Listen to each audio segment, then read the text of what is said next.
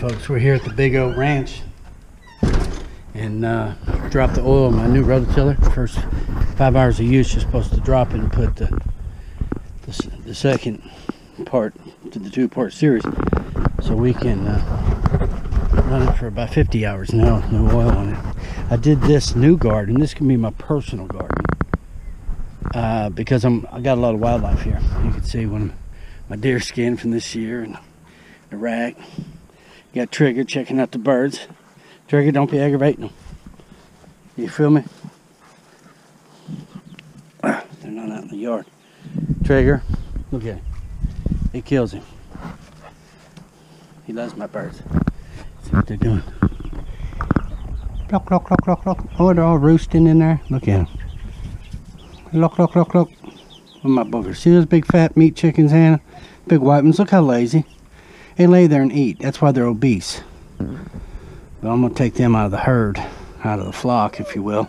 About two weeks. Chill, Trigger. Chill. I'm just talking to the birds, man. Chill. Look at that one over there on the roost there, chilling, chilling like a villain. Oh, we got one down here on the roosting bars. Yeah, they they digging it. Get your tail out of there. What you doing, son? Get up in here. Come on. Out. Out. Good boy.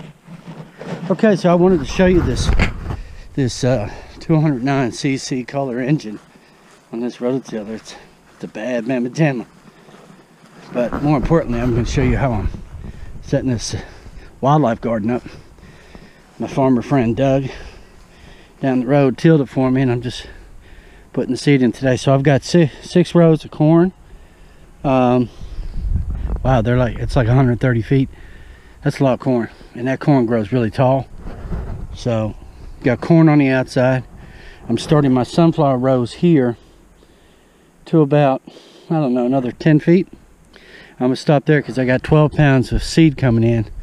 Mix and match sorghum, soybean, millet, uh, dwarf corn. What else do I got? Another legume in there somewhere.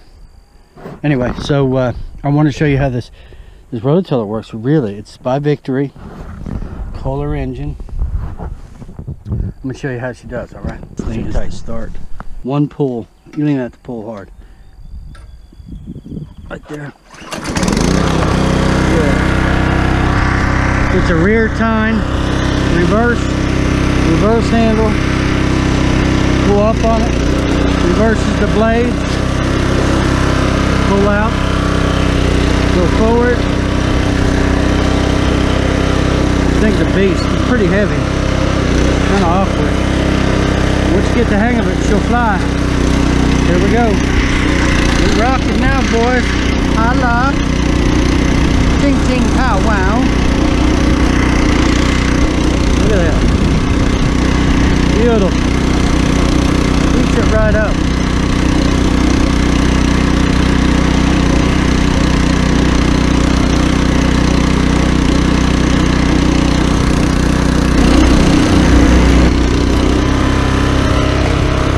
See if we'll climb up this hill.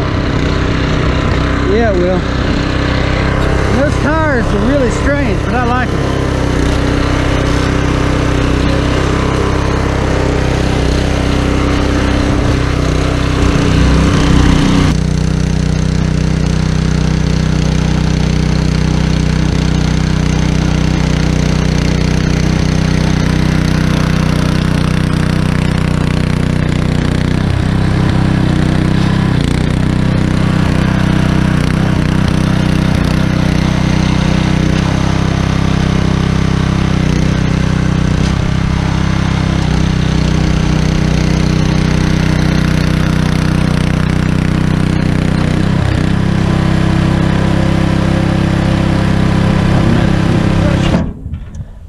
Got a depth gauge here.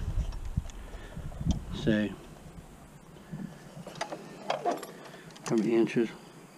One and a half inches where it's set. That's exactly what I need. And if you look down here, you can see as this wheel turns, it turns that and it'll drop those seeds in there like I need it. Pretty cool. What do you think, Trig? This not a beautiful day? Huh?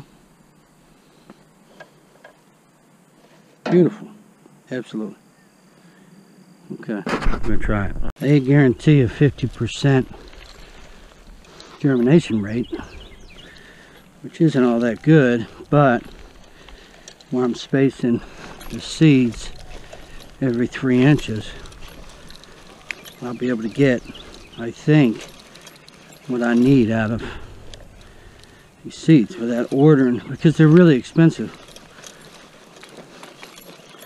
And what I did was bought black oil sunflower seed for birds. And the woman at Tractor Supply says she plants them every year in her garden.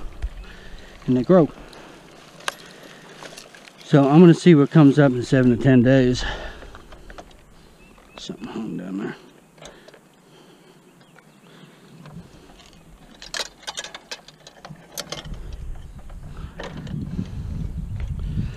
And see what it does.